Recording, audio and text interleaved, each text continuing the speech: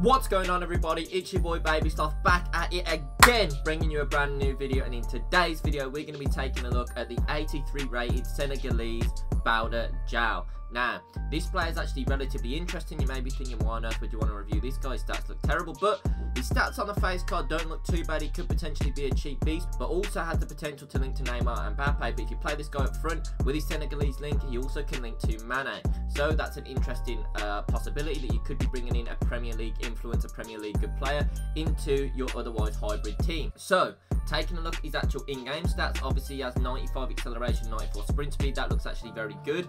Um, he has pretty poor attack positioning, 82, 83 finishing, 83 shot power, 78 long shots. Them stats look pretty bad to me uh, in terms of this stage in FIFA, but obviously there's other cards on this game that have stats similar to that and finish absolutely everything, so that might not be a problem.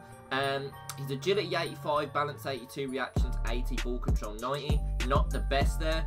Um, ball control at 90 is pretty good, dribbling at 88 is pretty good, but his overall agility and balance, you'd like that to be a little bit higher considering he is 6 foot 2.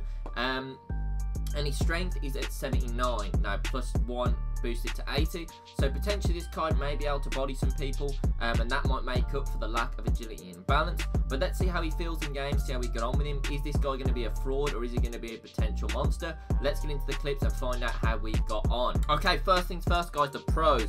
Now this guy's quick.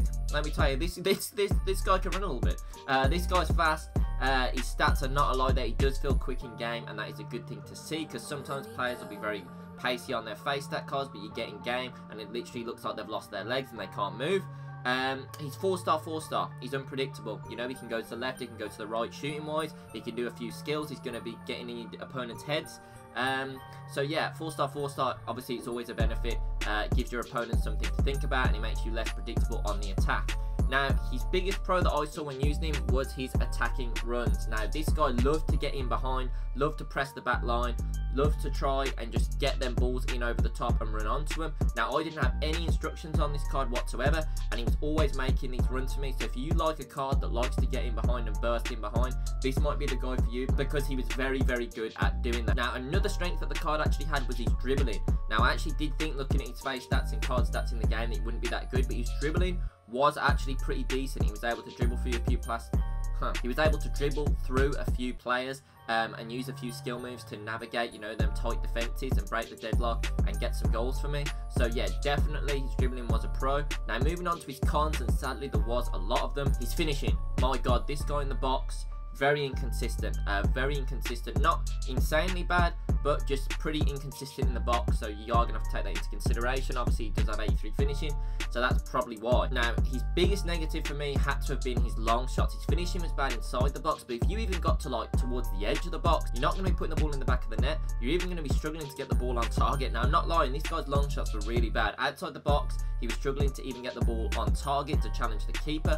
Uh, so that's something, again, you're seriously going to have to bear in mind. Uh, this wasn't on his weak foot either, this on his strong foot. His long shots were pretty bad. Uh, very inconsistent. So I think I scored maybe one with him, or I had a finesse that hit off both posts. But again, that still doesn't count as being on target. But most of the shots I took with him did go wide. And then another negative sadly had to be his overall positioning. Now, for the most part, his attacking runs were very good, but when he wasn't making them attacking runs, this guy was drifting over to the right, drifting over to the left. Bearing in mind, I don't have any instructions on my players to do anything here. This is what his natural movement was like.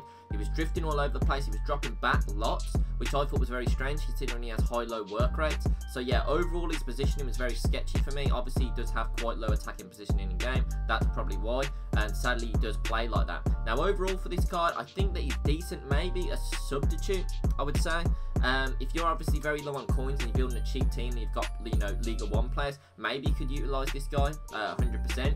But I'd recommend him mainly as an impact sub uh, because of his pace. I would not recommend taking this guy into League and League weekend league starting, um, unless you're obviously building a Senegalese team or you're trying to get Sadio Mane into that team, but obviously you just sub him off if you did. So that's been my review on Keita Diao. Please consider leaving me a like on the video, consider commenting, and please consider subscribing if you want to see more FIFA content. I'd like to thank you all very much for watching, and have a great day.